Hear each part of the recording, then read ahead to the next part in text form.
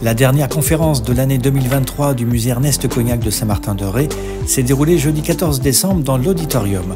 Pascal Lépinas, conférencière et historienne de l'art, nous plongeait dans l'univers des femmes sculpteurs méconnues du grand public.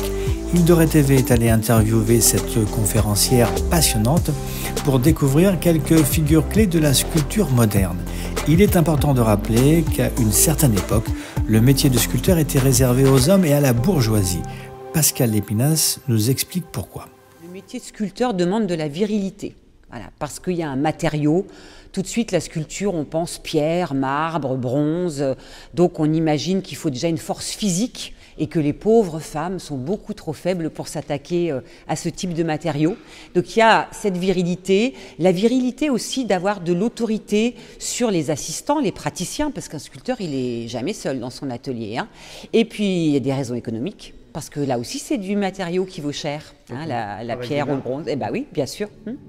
Formée à la tradition d'Auguste Rodin et d'Antoine Bourdel, Germaine Richier s'affirme comme profondément originale et radicale en à peine plus de 25 ans, des années 1930 à sa disparition précoce en 1959. Et puis Hélène Berthaud qui créa en 1881 l'Union des femmes peintres et sculpteurs qui permettra aux femmes françaises et étrangères d'obtenir un véritable statut d'artiste et de créer une solidarité entre elles. Et puis Camille Claudel, bien sûr, qui fut la référence des sculptrices. D'abord, Camille Claudel, c'est vrai, euh, c'est la référence quand on pense sculptrice. À la fin du 19e siècle, hein, euh, on l'associe à Rodin, bien évidemment.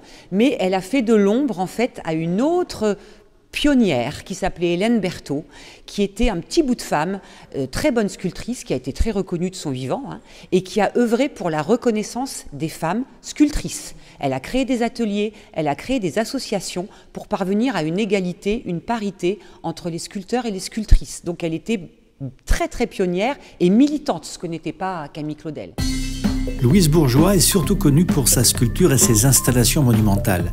Elle est proche des mouvements expressionnistes abstraits et du surréalisme ainsi que du mouvement féministe, mais reste toute sa vie non affiliée à une mouvance particulière. Elle reste d'ailleurs inclassable. Pascal Lépinas. Alors elle est complètement inclassable, elle est scandaleuse. Ça, euh, il est clair qu'elle a fait des, œuvres qui ont vraiment euh, créé beaucoup de polémiques avec des caractères sexuels euh, très très prononcés. elle s'est emparée justement de sujets très crus, hein, érotiques et on considérait que c'était pas voilà des sujets propres à, être traités par des femmes. Hein. Donc elle a été révolutionnaire vraiment dans son sens et inclassable parce qu'elle a une œuvre extrêmement, d'une part, prolifique et variée.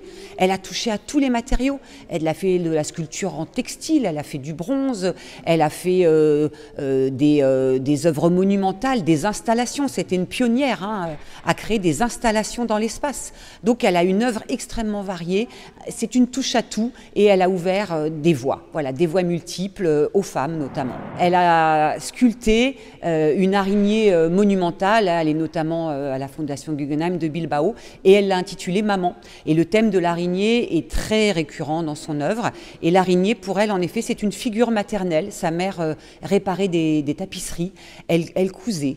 Et cet acte de coudre, pour Louise Bourgeois, c'est un acte de réparation on recolle des morceaux, on ressoude ensemble et euh, ça fait cohésion, cohérence.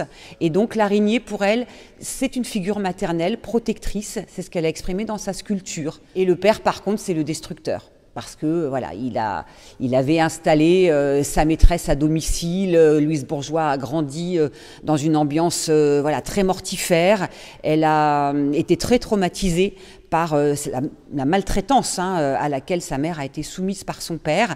Et donc elle a créé par contre des, des œuvres, euh, notamment la, une œuvre très dérangeante qui s'appelle Destruction du, père, hein, qui est une œuvre assez sanguinaire et sanguinolente. Hein.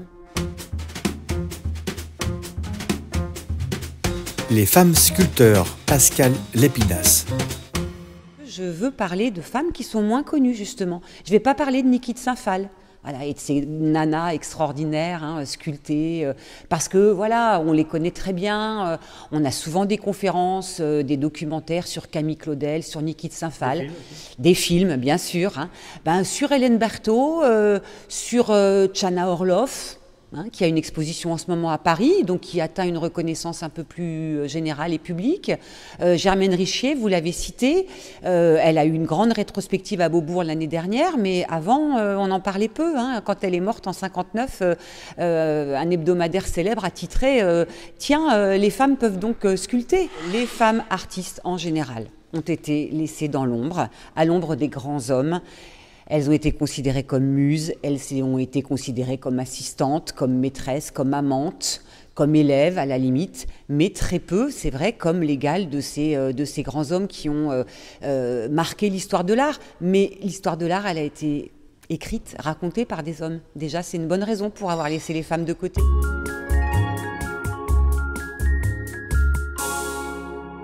Ce que je voudrais qu'on retienne, c'est d'une part qu'il faut combattre les a priori, et que euh, les femmes ont toujours sculpté mais depuis la Renaissance. Hein, euh, il y a toujours eu des femmes sculptrices et que malgré les obstacles économiques, on l'a dit, euh, matériels, on l'a dit aussi, les femmes ont sculpté. Les femmes ont toujours été présentes dans le domaine artistique, quel qu'il soit. Des plasticiennes, il y en a toujours eu. Donc ça, je voudrais que on le retienne. Et puis qu'on retienne que bien souvent, ce sont des pionnières qui vont plus loin que leurs homologues masculins et que c'est bien souvent parce qu'elles vont plus loin qu'on les met de côté.